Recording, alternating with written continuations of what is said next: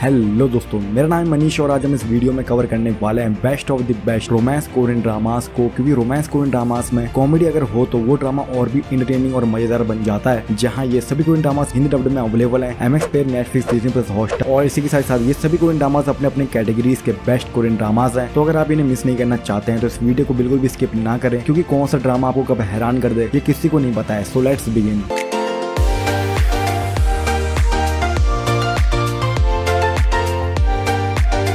तो जो हमारी लिस्ट का अगला कोई ड्रामा था, उसका नाम है सस्पिशियस पार्टनर इसे आई पर 7.8 आउट ऑफ़ रेटिंग मिली है और इस ड्रामा को आप एंजॉय कर सकते हैं एमएक्स प्लेयर के प्लेटफॉर्म पर। ये comedy thriller law romance drama है, जहाँ पर आप कहीं देखने वाले हैं जीवुक और बोंग ही की, जहाँ एक तरफ़ जीव प्रोसिक्यूटर होता है और काफ़ी ज़्यादा समझदार प्रोसिक्यूटर होता है और दूसरी तरफ़ हम देखने वाले हैं बोंग ही को, जो की जीवो के अंडर में काम करती है इंटर्न के तौर पर बोंग ही एक ऐसी लड़की होती है जो हमेशा कोई ना कोई प्रॉब्लम का हिस्सा बन जाती है, जिसे सॉल्व करने के लिए जीवो को काफ़ी सारी परेशानियों से गुजरना पड़ता है। इसी बीच बोंग ही अपने एक्स बॉयफ्रेंड के मर्डर के केस में फंस जाती है, जो उसने किया भी नहीं होता है। ऐसे में जीवो को उसे बचाने की कोशिश करता है और इसी बीच उसे बचाने के चक्कर में जीवो को अपनी जॉब खोनी पड़ती है। ऐसे में उस दौरान जीवो और बोंग ही काफ़ी ज़्यादा क्लोज आने लग जाते हैं। इसी बीच जीवो को पता चलता है कि बोंग ही को कोई मारना चाहता है और लगातार वो उसका पीछा कर रहा है। ऐसे में जीवो बोंग ही को बचाने के लिए क्या क्या करता है और कौन बोंग ही को मारना चाहता है, ये सभी एक थ्रिलिंग स्टोरी के साथ इस ड्रामा में प्रेजेंट किया गया है, जहाँ वो कॉमेडी भी देखने को मिलने वाली है। इस ड्रामा के अंदर टोटल ट्वेंटी एपिसोड है, जिनकी लेंथ सिक्सटी मिनट की होने वाली है। तो इस लिस्ट का अगला कोई ड्रामा तो उसका नाम है शी वॉस प्रेटी इससे एम पर seven point six out of ten rating मिली है। इस ड्रामा को देखते वक्त आपको काफ़ी ज़्यादा मज़ा आने वाला है, क्योंकि इसमें कॉमेडी का एंगल जो है, काफ़ी ज़्यादा खूबसूरत तरीके से दिखाया गया है। इस ड्रामा में आप देखेंगे किम हे जिन को, जो की बचपन में काफ़ी ज़्यादा सुंदर हुआ करती थी, और अब बड़े होने के बाद उसे लगने लगा है कि अब वो उतनी खूबसूरत नहीं रही है जितना वो पहले हुआ करती थी। और जब उसकी पहली बार फुल टाइम जॉब लगती है, और उस जॉब के कुछ ही दिनों बाद में किम ही जिन को अपने बचपन के दोस्त जी संग का कॉल आता है, जिससे वो बचपन से नहीं मिली होती है, और उससे मिलने के लिए वो काफ़ी ज़्यादा एक्साइटेड होती है। बचपन में जी संग काफ़ी ज़्यादा चबी टाइप का हुआ करता था जब किम ही जिन उससे मिलने जाती है, तब वो देखती है वो काफ़ी ज़्यादा हैंडसम हो गया है और वो दिखने में बिल्कुल भी अच्छी नहीं लग रही है। इसलिए वो उसे दूर से देखकर चली जाती है। इस सब में सबसे कमाल की बात तो ये होती है की जीत संघ ने अभी तक किम हेजिन को देखा नहीं होता है। इसीलिए जब अगले दिन किम हेजिन अपने जॉब पर जाती है, तब उसे पता चलता है कि जो उसका बॉस है, वो असल में जीत संघ है। ऐसे में किम हेजिन काफ़ी ज़्यादा हैरान हो जाती है और उसे जी संघ से अपनी पहचान को छुपाना पड़ेगा। पर क्या लास्ट तक वो ऐसा करने में कामयाब हो पाती है नहीं? और उसके ऐसा करने की वजह से इस ड्रामा में कितनी सारी कॉमेडी के एलिमेंट क्रिएट होते हैं, ये सभी आपको इस ड्रामा में आगे देखना है। इस ड्रामा के अंदर टोटल सिक्सटीन एपिसोड है, जिनकी लेंथ सेवेंटी मिनट की होने वाली है। तो जो हमारा अगला कोई ड्रामा था, उसका नाम है Hwarang the poet warrior youth इसे एमडी पर एट आउट ऑफ़ रेटिंग मिली है। और ये एक ऐसा ड्रामा है, जिसके अंदर में काफ़ी सारे बड़े बड़े एक्टर्स ने काम किया है। जिसके अंदर में आप देख सकते हैं पाक से जिन को, जिनने इटावन क्लास के अंदर में काम किया था। और आप देख सकते हैं सपोर्टिंग रोल में सी जी को, जिन्होंने it's okay to not be okay में काम किया था। और आप देख सकते हैं बीटीएस के वी को, इस ड्रामा के अंदर और भी बड़े बड़े एक्टर्स को लिया गया है, जिसकी वजह से इसकी कास्टिंग तो ए वन है। बात कर लेते हैं इस ड्रामा की स्टोरी के बारे में। इस ड्रामा की स्टोरी में दिखाया गया है हुआरंग्स को। हुआरंग एक ऐसा ग्रुप था सिक्स सेंचुरी का, जिसके अंदर में पूरे कोरिया के सबसे अच्छे दिखने वाले लोगों को लिया गया था, उनकी लव रिलेशनशिप की स्टोरी को और उनके बीच की फ्रेंडशिप को इस ड्रामा में कवर किया गया है। इस ड्रामा के अंदर में आपको टोटल ट्वेंटी एपिसोड देखने को मिलने वाले हैं, जिनकी लेंथ थर्टी मिनट की होने वाली है। तो जो हमारा अगला कोई ड्रामा था, उसका नाम क्रेजी लव इसे एम डी पर seven point two out of rating मिली है और इस ड्रामा को आप इंजॉय कर सकते हैं डिजनी प्लस हॉटस्टार पर। जैसे इस ड्रामा का नाम है क्रेजी वैसे इस ड्रामा की स्टोरी भी होने वाली है और साथ में इस ड्रामा का मेन लीड और फीमेल लीड उतने ही क्रेजी होने वाले हैं। इस ड्रामा के अंदर आप स्टोरी देखने वाले हैं गोजिन की, जो की पहले काफ़ी ज़्यादा गरीब हुआ करता था और वो प्यून की जॉब करता था एक एजुकेशन इंस्टीट्यूट के अंदर में, जहाँ पर वो रियलाइज़ करता है की वो एक मैथ का जीनियस है, जिसके बाद वो अपनी काबिलियत के दम पर कोरिया का सबसे बड़ा मैथ का टीचर बन जाता है और देखते ही देखते वो अपनी खुद की कंपनी भी खोल देता है, जिसका वो सीईओ बन जाता है। गोजनी एक ऐसा इंसान है जिसके साथ में किसी भी सेक्रेटरी ने आज तक पूरा साल काम नहीं किया है, वो पहले ही छोड़कर चली जाती थी, क्योंकि गोजिन का जो बिहेवियर है वो काफ़ी ज़्यादा रूड और इनसेंसिटिव होता था उन सभी के लिए। पर गोजिन की नई सेक्रेटरी जिसका नाम लीशिना होता है, उसने उसे कैसे तैसे कर कर एक साल तक झेल लिया था, पर फिर उसके बाद लीशिना को पता चलता है कि उसे स्ट्रेस की वजह से एक ऐसी बीमारी हो गई है, जिसकी वजह से उसके पास काफ़ी कम टाइम है जीने के लिए। ऐसे में लीशिना काफ़ी ज़्यादा परेशान हो जाती है और अपना सारा का सारा गुस्सा अपने बॉस गोजिन पर निकालने निकल पड़ती है। पर उसी वक्त गोजिन का काफ़ी बड़ा एक्सीडेंट हो जाता है और फिर लीशिना को उसका ख्याल रखना पड़ता है। पर उस दौरान भी लीशिना गोजिन से किसी न किसी तरीके से बदला लेने की कोशिश करती रहती है, जो इस ड्रामा में काफ़ी ज़्यादा इंटरेस्टिंग तरीके से दिखाया गया है। और जैसे जैसे टाइम बीतता जाता है, ये दोनों एक दूसरे के करीब भी आने लग जाते हैं और इनकी लव स्टोरी में आगे क्या होने वाला है, ये सभी आपको इस ड्रामा में आगे देखना है। इस ड्रामा के अंदर टोटल सिक्सटीन एपिसोड है। है, जिनकी length 65 minute crash landing on you इसे एम पर 8.7 आउट ऑफ़ रेटिंग मिली है इस ड्रामा को आप इंजॉय कर सकते हैं नेटफ्लिक्स के प्लेटफॉर्म पर। ये काफ़ी ज़्यादा पॉपुलर ड्रामा है, जिसके बारे में आपने एक ना एक बार ज़रूर सुना होगा, और अगर नहीं सुना है तो ये ड्रामा आपको एक बार ज़रूर देखना चाहिए। तो दोस्तों, आपको पता ही होगा की साउथ कोरिया और नॉर्थ कोरिया के बीच में कितनी बड़ी तकरार है, और वो दोनों देश कभी भी एक नहीं हो सकते हैं। और ऐसा ही हाल उन दोनों देशों के लोगों का भी है। इस ड्रामा में देखने वाले यून से री को जो की साउथ कोरिया की बहुत ही बड़ी बिज़नेस फैमिली से बिलोंग करती है, पर एक दिन पैराग्लाइडिंग के दौरान तेज हवा की वजह से वो नॉर्थ कोरिया के बॉर्डर के पार चली जाती है, जहाँ उसकी मुलाकात होती है जंग हुक से, जो की नॉर्थ कोरियन आर्मी ऑफिसर होता है। अब ऐसे में जंग हुक के पास में दो रास्ते होते हैं, या तो यून से को नॉर्थ कोरिया के हवाले कर दे, या वो उसकी घर जाने में मदद करे तो वो दूसरा रास्ता चुनता है, यानी कि वो उसकी घर जाने में मदद करता है। ऐसे में उसे यून से री को अपने घर पर कुछ टाइम के लिए छुपाना पड़ता है, और उसी बीच उसे यून से री से प्यार भी हो जाता है। और ऐसे में इन दोनों की दो देशों की लव स्टोरी लास्ट तक कामयाब हो पाती है या नहीं, ये सभी आपको इस ड्रामा में आगे देखना है। इस ड्रामा के अंदर टोटल सिक्सटीन एपिसोड है, जिनकी लेंथ सेवेंटी से नाइन्टी मिनट की होने वाली है। तो जो हमारा अगला कोई ड्रामा था, उसका नाम है बिज़नेस प्रपोजल। इसे एम पर eight point one out of rating मिली है और इस ड्रामा को आप इंजॉय कर सकते हैं नेटफ्लिक्स और हमारे टेलीग्राम चैनल पर। इस ड्रामा के अंदर में आप कहीं देखने वाले हैं कांग ताइम मू की, जो की बहुत ही बड़ी बिज़नेस फैमिली से बिलोंग करता है और वो अपने काम में ज़रूरत से ज़्यादा फोकस करता है। ऐसे में एक दिन कांग ताइम मू के ग्रैंड फादर उसके सामने एक ऐसी शर्त रखते हैं जिसकी वजह से कांग ताइम को अब जल्द से जल्द शादी करनी होगी। इसके बाद कांग ताइम काफ़ी बड़ी प्रॉब्लम में फंस जाता है और वो एक के बाद एक काफ़ी सारी डेट पर जाता है। पर इसके बाद कांग ताइम काफ़ी ज़्यादा थक जाता है और वो डिसाइड करता है कि वो जो अगली डेट पर जाएगा, वो उसे हाँ बोल देगा। ऐसे में उसकी अगली डेट होती है बहुत ही बड़ी बिज़नेस फैमिली की बेटी यंग स्यू से, जिसका उसने अभी तक चेहरा बिल्कुल भी नहीं देखा होता है। जिसका फ़ायदा यंग स्यू उठाती है और अपनी जगह अपनी बेस्ट फ्रेंड शिनारी को भेज देती है, जो एक पुअर फैमिली से बिलोंग करती है। और वो शिनारी से कहती है की उसे कैसे भी करके इस डेट को खराब कर देना है। पर इस सबके बावजूद भी कांग टाइम शिनारी को हाँ बोल देता है, जिसकी वजह से शिनारी काफ़ी बड़ी प्रॉब्लम में फंस जाती है। क्योंकि कांग टाइम उसके ऑफ़िस में उसका बॉस भी होता है। आगे इस ड्रामा में कांग टाइम और शिनारी के लव स्टोरी के साथ क्या होने वाला है, ये सभी आपको इस ड्रामा में आगे देखना है। इस ड्रामा के अंदर टोटल ट्वेल्व एपिसोड है, जिनकी सिक्सटी मिनट की होने वाली है। तो जो हमारा कोई ड्रामा था उसका नाम है होरल डेल लूना और इसे एम पर eight point one out of rating मिली है।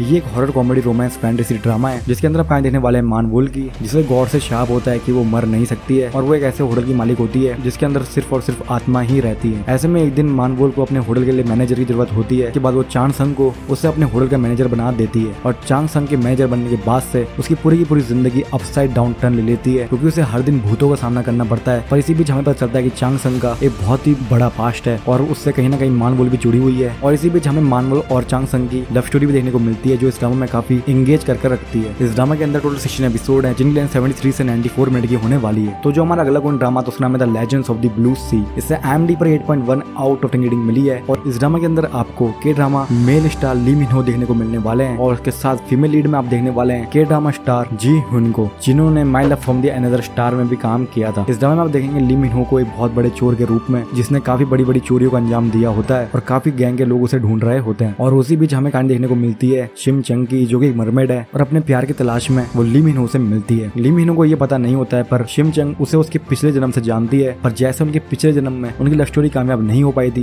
वैसा ही कुछ इस जन्म में भी उनके साथ होने वाला है। पर इस बार ली मिनहो उसे कैसे भी करके रोकना चाहता है और अपनी इस लव स्टोरी को कामयाब बनाना चाहता है। पर क्या लास्ट तक वो ऐसा करने में कामयाब हो पाता है या नहीं, ये सभी आपको इस ड्रामा में आगे देखना है। इस ड्रामा के अंदर में आपको भर भर के कॉमेडी रोमांस देखने को मिलने वाला है तो इसे आपको बिल्कुल मिस नहीं करना चाहिए। इस ड्रामा के अंदर टोटल फोर्टी एपिसोड है, जिनकी लेंथ थर्टी मिनट की होने वाली है। तो जो हमारा अगला कोई ड्रामा था उसका नाम है डब्ल्यू टू वर्ल्ड अपार्ट इसे एम डी पर एट आउट ऑफ़ रेटिंग मिली है। और ये एक ऐसा ड्रामा है जो एक काल्पनिक दुनिया यानी कि एक वेबटून की दुनिया को हकीकत की दुनिया में ले आता है। इस ड्रामा में आप देखने वाले हैं संगमू को जो कि एक वेबटून आर्टिस्ट है और वो अपने कमरे में अपने फ़ेमस वेबटून डब्ल्यू का आखिरी एपिसोड लिख रहा होता है। और उसी बीच वो किसी वजह से गायब हो जाता है जिसके बाद उसकी बेटी सर्जन यूनजी उसे ढूँढने जाती है और अपने आप को एक छत के ऊपर पाती है जहाँ पर एक घायल इंसान बड़ा होता है। और उसके बाद वो उसका इमीजिएटली ट्रीटमेंट करती है और उसके बाद उससे पता चलता है कि ये इंसान और कोई नहीं उसकी फादर की वेबटून का मेन कैरेक्टर चुल है, जिसके बाद उसे रियलाइज़ होता है कि वो वेबटून की दुनिया के अंदर में आ गई है और फिर किसी वजह से ये सारी बातें वो कांग चुल को बता देती है। इसके बाद कांग चुल भी रियल वर्ल्ड में आ जाता है और अब कांग चुल रियल वर्ल्ड में कौन कौन से इंटरेस्टिंग ट्विस्ट लेकर आने वाला है, ये सभी आपको इस ड्रामा में आगे देखना है। इस ड्रामा के अंदर टोटल सिक्सटीन एपिसोड है, जिनकी लेंथ सेवेंटी मिनट की होने वाली है। तो दोस्तों, अगर आप ऐसे ही कोई